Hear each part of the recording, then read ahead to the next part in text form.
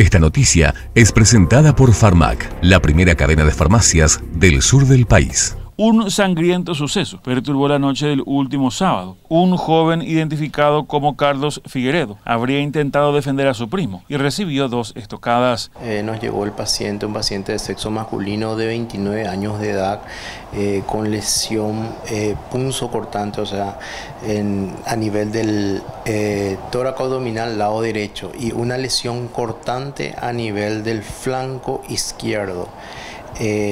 Al paciente se, realizó una, se le realizó una tomografía donde no se constató lesión a órganos vitales. El paciente también se le realizó una ecografía donde se constató ligera cantidad de líquido libre en abdomen. Eh, actualmente el paciente se encuentra estable, quedó en observación. El paciente no necesitó de cirugía, solamente una cirugía menor en sutura, y, pero no necesitó entrar, eh, ingresar a quirófano dos lesiones. Una lesión eh, penetrante, ¿verdad? en este caso eh, tórax abdominal lado derecho y otra, otra lesión cortante a nivel del flanco lado izquierdo. Carlos Figueroa. Carlos Figueroa. Sí. ¿Sería un joven de cuántos años aproximadamente? 29 años de edad. 29 años. Sí. Bueno, eh, esto aparentemente, doctor, seguramente usted ya también tendrá conocimiento. habría sido en un evento que se registró en Encarnación en la noche de ayer.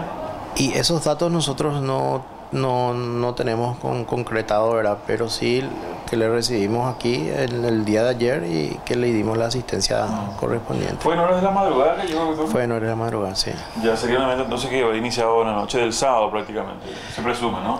Posiblemente, así Doctor, y eh, en este caso, ¿cómo es el procedimiento una vez que llegan pacientes similares con las características de este joven? ¿Cómo se procede?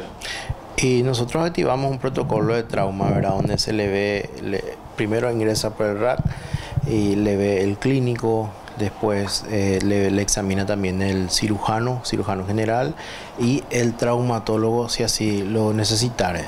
Y eventualmente después ya las subespecialidades, si es un politraumatizado que necesita eh, interconsulta con el, neurocirujano, también se le evalúa.